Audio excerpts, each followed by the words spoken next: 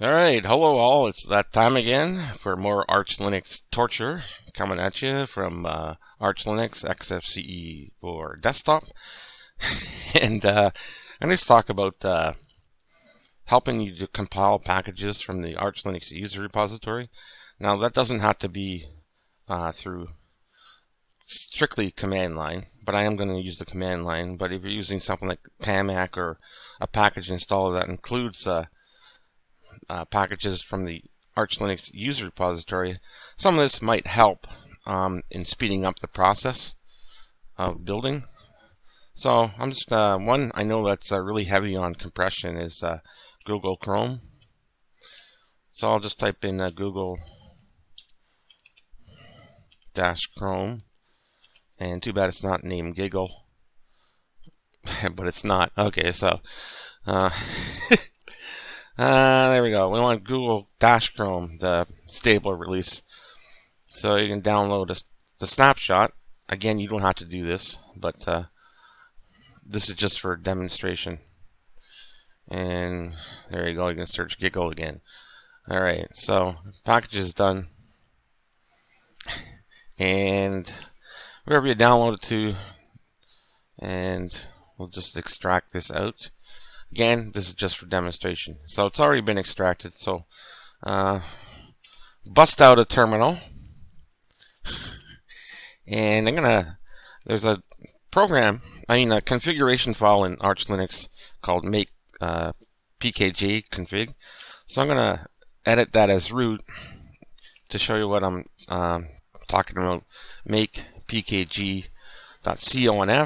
So we'll open that mainly we're interested in the C flags, okay, and the uh, Arch Linux uh, documentation on this part says to make the multi-architecture native and take it a few lines. So I'll uh, reference that uh, in in the notes on the video, or I'll reference both. And this uh, CXX flags, not so much. Um, I just uh, put the M2 M tune to AMD FAM10, which is AMD whatever. uh, I have a six-core processor. Uh, the one I found interesting, and this this will be commented out. Let me move this here. This make flags will be commented out, and there won't be anything. Um, there'll be something else in here. So you uncomment that. And what I found interesting is the J uh, compiler uh, string is put nproc, you know, dollar sign dash J dollar sign nproc. Again, I'll no notate that. And what's kind of neat about that is uh, if you have multiple cores, it'll just pick up how many cores you have and use them. So you don't. It's almost a almost a global thing you can get away with and not have to worry if you don't have enough cores. It'll just use whatever you have. And the build environment, um, you got to be careful, a little careful. Make sure you have enough memory, but it does help if you uncomment the build directory here. You just have to uncomment it. There's nothing you have to add. And it'll build this in Arch Linux uh, temp, which is actually in memory. So that's why I said be careful because if you have a large, I doubt you will, but you might one day have a large package and, you, and you'll you will run out of memory.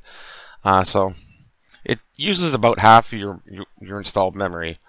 Okay. So um, by default. So anyway, we'll go down to uh, compression XZ, which is as uh, mentioned before, is in the later Arch uh, ISO builds, and it probably was updated uh, anyway. And I added this option T dash T, that's for threads, and then the number six, there's a space there. I had it at T0, but it didn't. It, I didn't see the compression kicking in with. Uh, it only kicked in on, on two cores.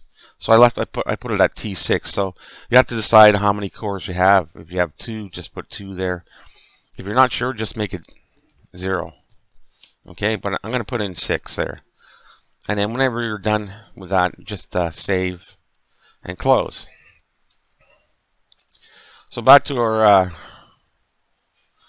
oops, downloads folder. Google Chrome's extracted.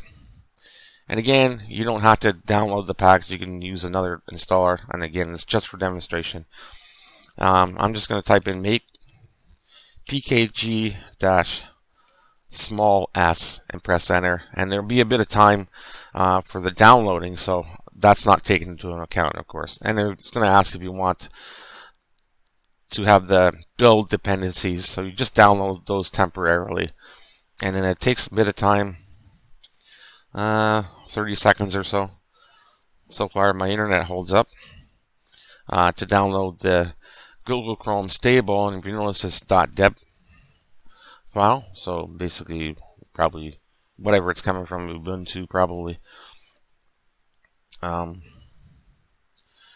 uh, and it converts it so we can install it uh, in Arch. So quickly here, another terminal. I'm going to type in top. I like the Arch Linux top. It's pretty cool. You can see that it's compressing, and you, you notice I have six cores, and they're pretty much uh, pinned out. Uh, it still takes a while, even with that. But you see the compression here, and the cores here. So obviously those settings in the make package uh, work.